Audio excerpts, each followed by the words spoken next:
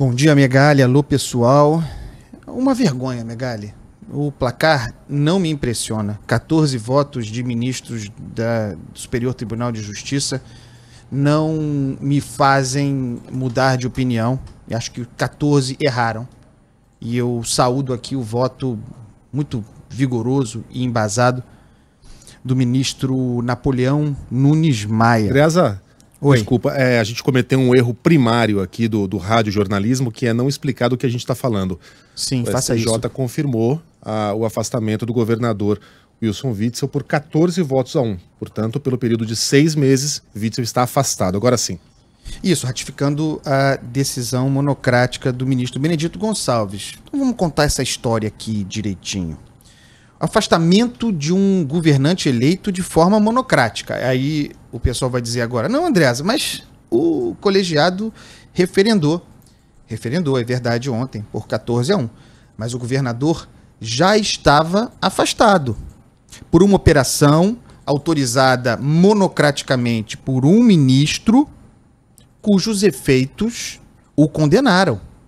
Witzel já está condenado, ainda meramente investigado e condenado, ceifado. Já era Witzel. O judiciário brasileiro, mais uma vez, fez uma intervenção no executivo. Então, afastado o governador do Rio de Janeiro, poderia ser qualquer um, Todo mundo sabe a minha opinião sobre Witzel, sobre quem só tenho certeza, sempre tive. Afastado Witzel de cargo eletivo por um ministro, depois referendado pelo colegiado, naquela ocasião, no mesmo dia, atenção a isso, em que o Ministério Público apresentou a denúncia.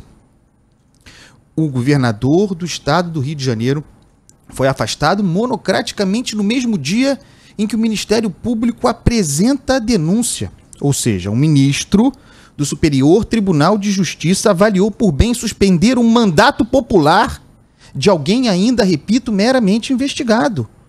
Antes mesmo, portanto, de a denúncia haver sido acolhida pelo tribunal.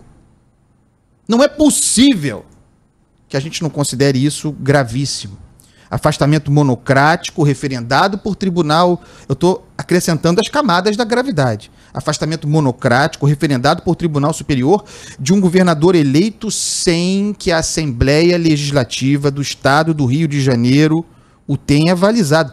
Enquanto, lembremos, corre nessa mesma Assembleia, nessa mesma LERJ, um processo de impeachment contra Witzel. Megali, para que um deputado, para que um deputado estadual, não precisa nem falar de federal, para que um deputado estadual uh, tenha contra si impingido uma medida cautelar, é necessário o aval da Assembleia. Para que um deputado estadual sofra uma medida cautelar. Mas para o governador, não. Olha que loucura isso, que desproporção, que distorção. O governador não o Ministério Público uh, se move, pede a prisão do governador ainda investigado, o juiz, ah não, não tanto, vamos afastá-lo, aceito, e assim foi e assim é, sem ratificação da Casa Política. Isso é culpa do Supremo Tribunal Federal. Essa zorra é culpa do Supremo Tribunal Federal, que vai espalhando jurisprudência, abrindo precedentes sem definir claramente o que pode e o que não pode. O que não pode, o que foi feito é o que não pode. É preciso dar nome às coisas aqui. O judiciário está fazendo política. Está fazendo política há muito tempo, invadindo o espaço da política sem integrar a política a esse processo.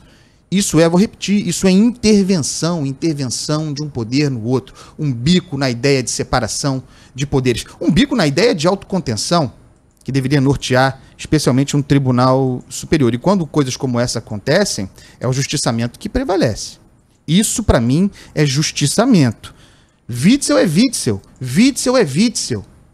Todo mundo sabe. Ah, as provas são robustas, pelo que eu pude ler, sim. Mas eu exijo, exijo para o Witzel porque eu exijo para mim o devido processo legal. E aí a gente precisa discutir seriamente, seriamente, sobre a criminalização da atividade política e a quem ou ao que beneficia esse jacobinismo lavajatista.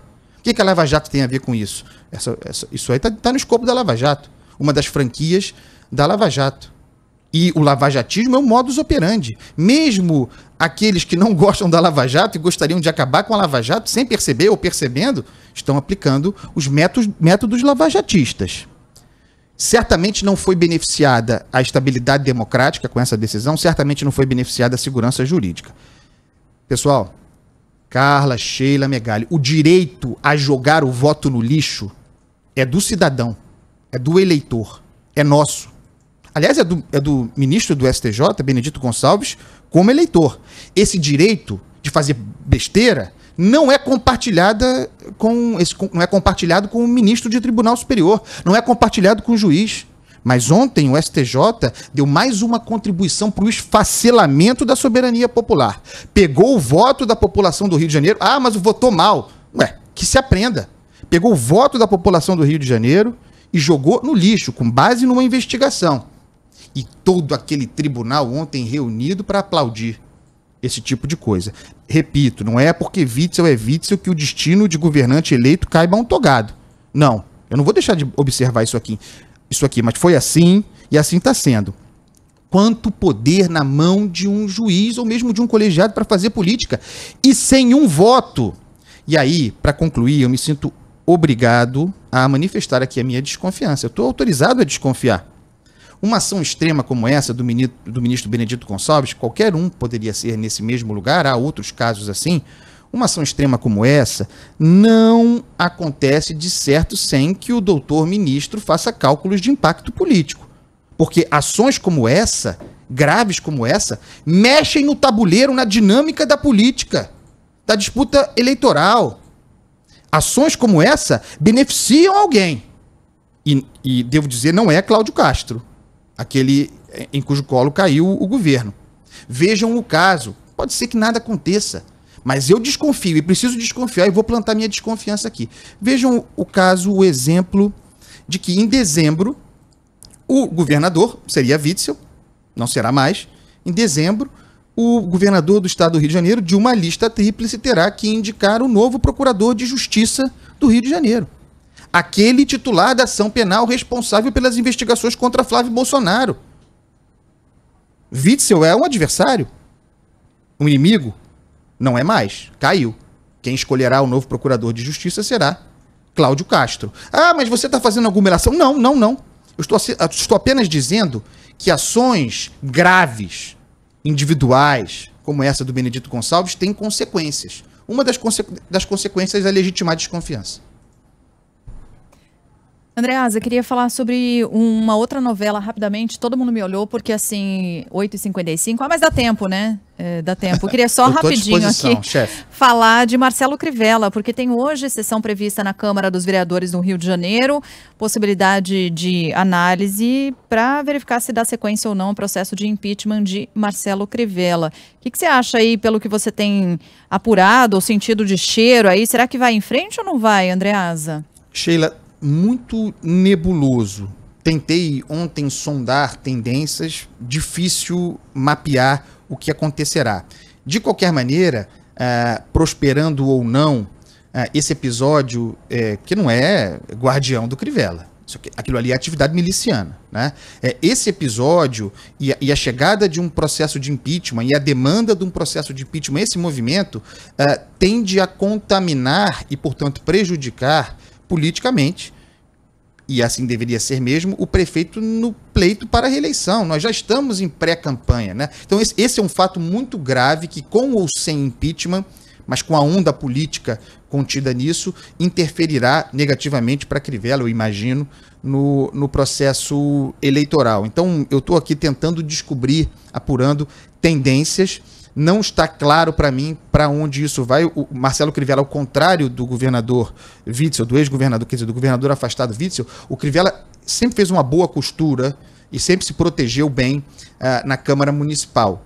Então, eu, eu tenderia a achar que ele tem algum grau de proteção é, mas tem a dinâmica eleitoral, tem eleição a, a, a, se aproximando, é, é para quem vai disputar a eleição, é, em busca inclusive de se reeleger, é, talvez não seja popular é, defender Crivella nesse momento. Então tem alguns elementos aí que podem transtornar esse cenário. Estamos acompanhando e você, chefe, Você sabe que eu preciso desse emprego. Precisando é só chamar que eu venho para trazer mais informações, tá bom? Tá bom. E você combinado. sabe que eu escolhi uma música que você gosta, né? Que eu adoro. Pois é. Adoro. Eu...